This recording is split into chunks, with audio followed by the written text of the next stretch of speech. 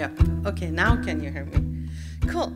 So I'm so happy that lots of you are still awake and hyped up and all full of fun. Who's awake? Like, show of hands. Woo! That's amazing. Like when I heard you clap, I thought like, yeah, somebody would be listening.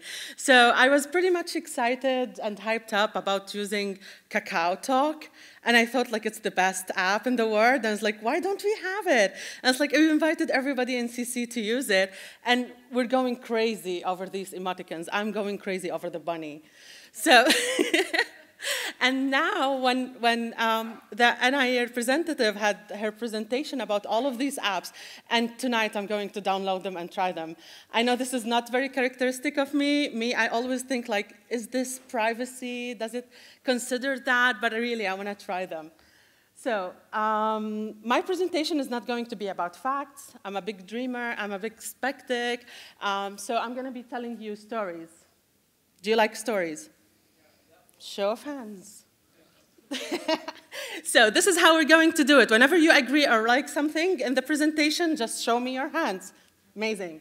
So uh, I'm going to tell you a story about, um, so I'm not going to go with like, what is the Internet of Things? And then show you a Wikipedia quote. This is not the way I work. So I'm just going to tell you a story.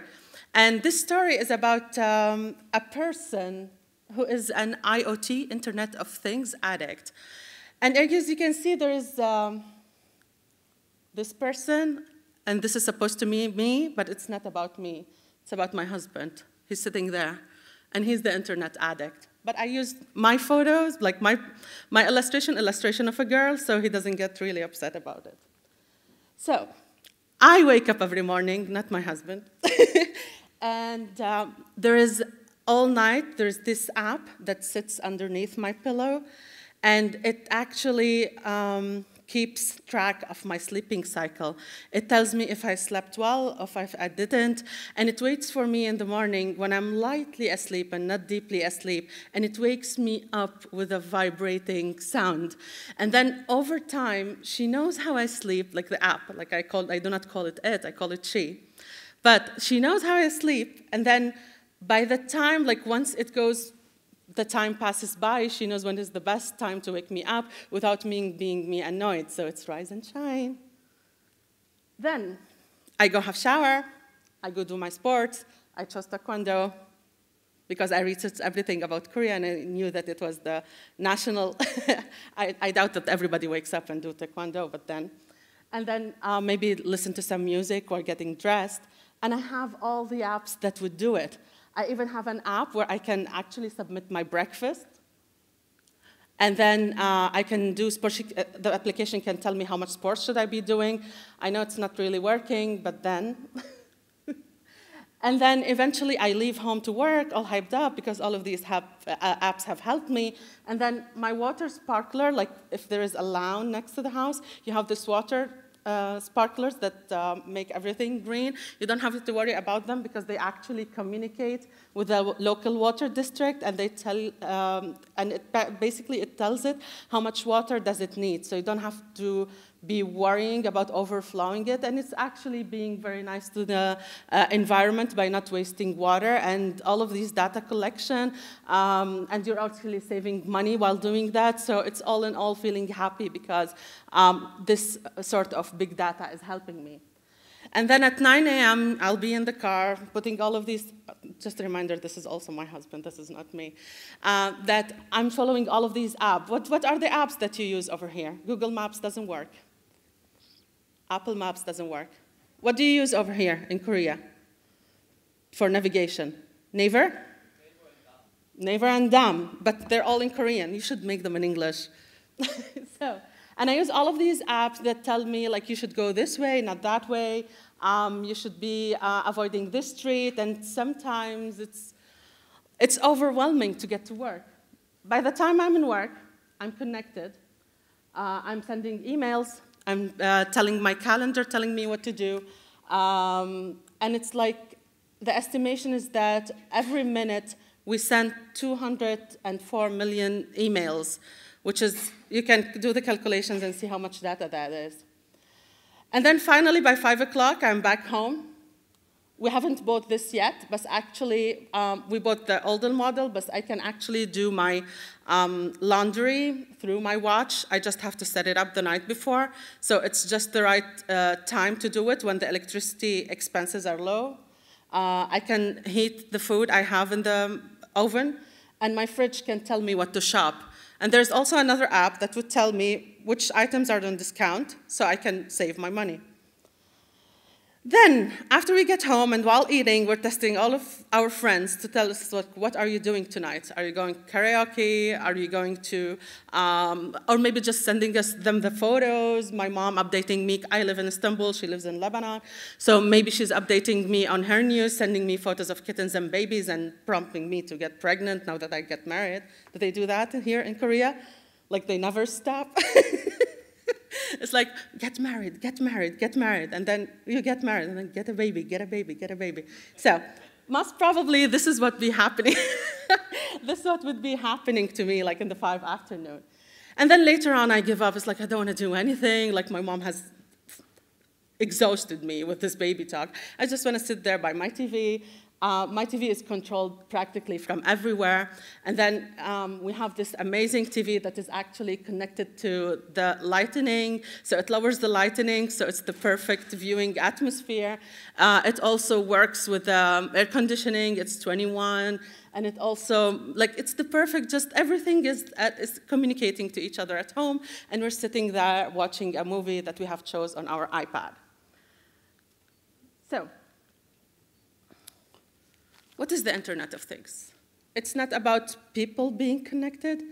It's about actually um, things being connected, things talking to each other. It's not only me that is talking to my apps that are talking to my things. So it's my watch, it's my iPhone or Samsung or Android, it's my TV talking to my lighting. It's things talking to things, not even me telling them. They just collect data about me and then they do everything to make me happy.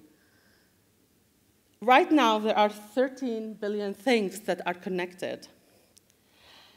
And by the year 2020, there's going to be 50 billion things connected.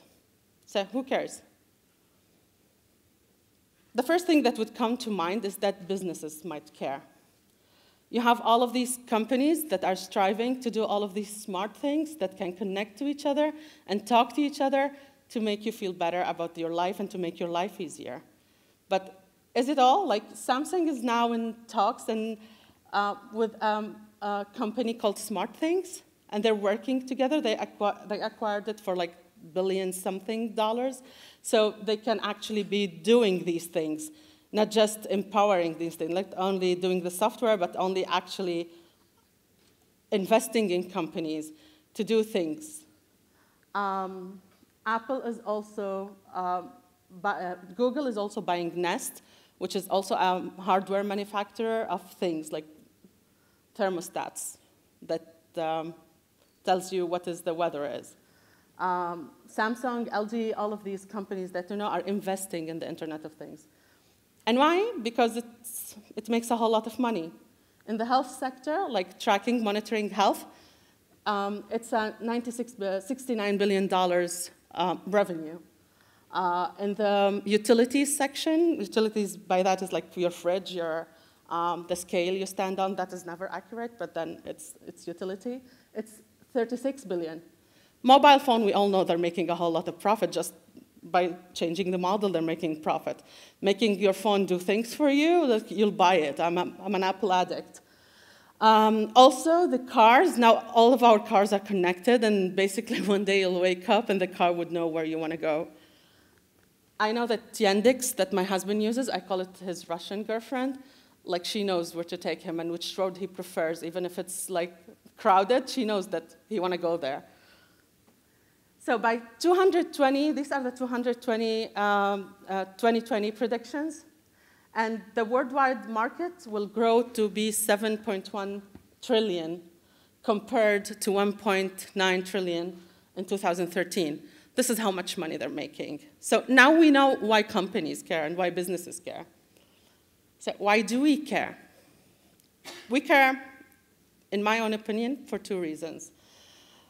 One of them because it's comfortable and it's convenient and it's like it's all at your fingertip. You just press a button, it happens. And this is really nice. Like we work hard, we, work, we worry about so much things.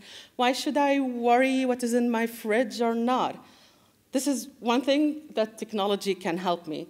And other people might argue and say that it's about health and safety. All of these data being collected, um, they are actually useful for people.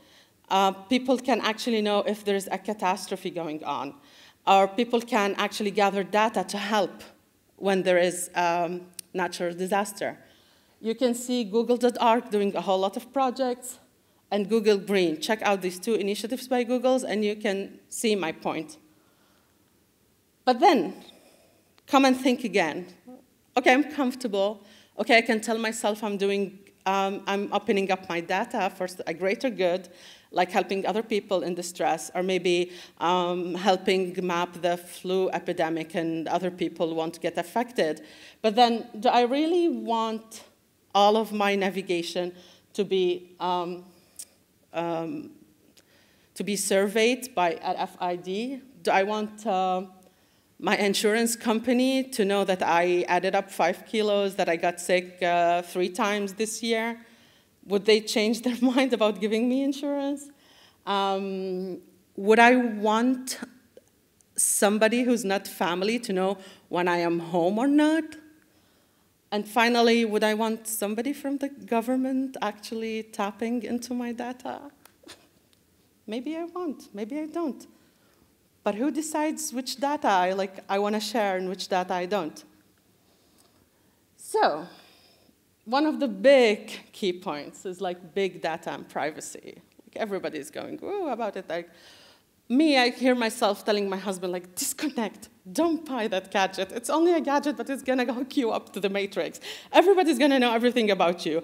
I don't know what breached. I don't know what that's like. I see him enjoying using all of these cool gadgets that would make his life easier. And I see myself going to him, it's like, check your Yandex to see which better way to go so as not to be stuck in traffic.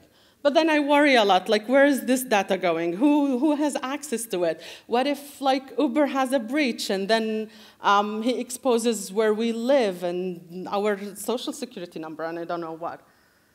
So for this, people are coming up with best practices. One of them would be be transparent about who the data is sharing. That's why we all sign the term of service to every app we download and we actually read it, right? All of us read it. Who reads it? When you press I agree, who reads it? You. You're a lawyer, you cannot say. You're definitely reading it, but unless you want to hire him to read all of your terms and services, be my guest. And then they tell you best practices is maybe you should have access to the data that is being collected and maybe you have the right to edit it. But guess what? Do you know Snapchat? You don't have access to the data you create. It's this app that everybody's crazy about, where you just film videos and share photos, and by the end of the day, they're deleted. They're deleted from your phone, they're not deleted from the database. And you don't get to access it. So if I want to go back and see what I shared a year ago, I cannot delete it from the database. I cannot access it. I cannot see it. I cannot remember what is it. And this fast consumable con uh, content is becoming a trend.